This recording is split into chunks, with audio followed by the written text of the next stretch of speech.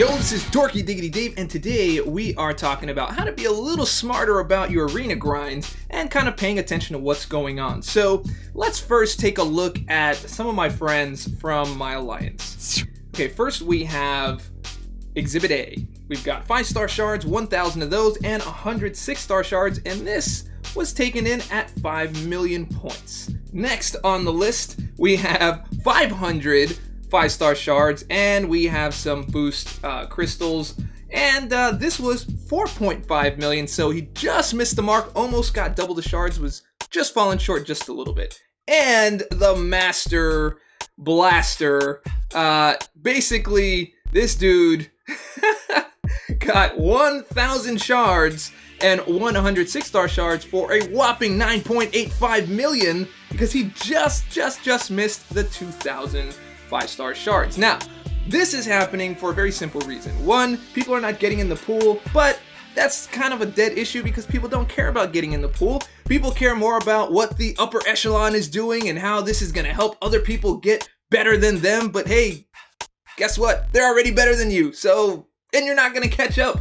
So it's it's a good idea to just jump in the pool. It's 200 five-star shards and it helps you out and it helps out all of your fellow players. And if in the event you ever wanted to go for something, that system will be set up for you. But hey, selfish people are selfish.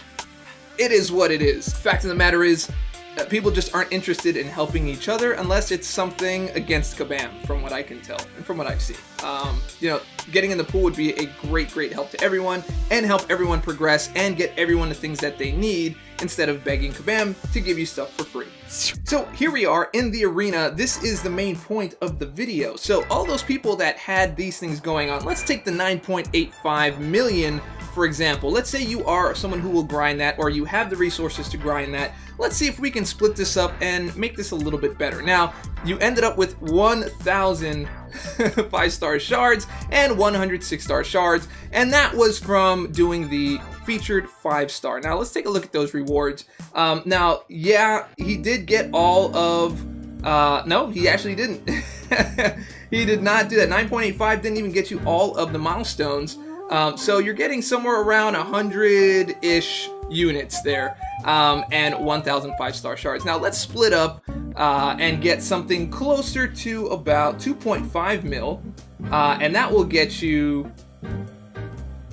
about 30, 30 units in this particular uh, arena. Now, that will also get you somewhere around the 500 uh, five star shards 2.5 2.8 ish area uh, for the featured five star now you do that and you split up your arena grind and you take that onto the featured four star boom you jump in here and you can put in the full amount the full 4.5 usually i go about 4.7 4.8 just to make sure that i can get the shards at the end.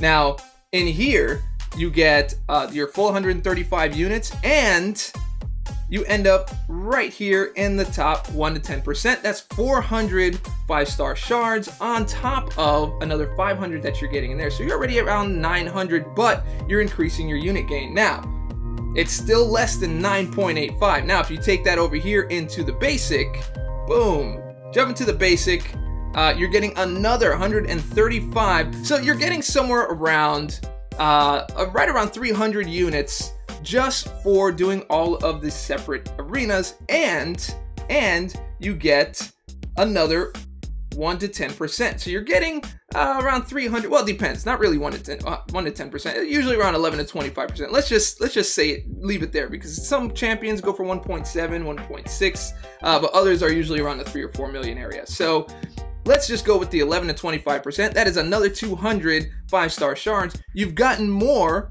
It's 100 more but it's more, and you get four star shards so that you can get more five stars. Now, it is less in terms of uh, six star shards, but you're getting a lot more units. You're getting a lot more uh, in your five star shards, and you're getting more in your four star shards, which will help you build up your roster. So if you're not quite hitting the mark and you're doing a lot of work and just just missing it, you can better diversify your arena grinds, get more in return, and get more for your work.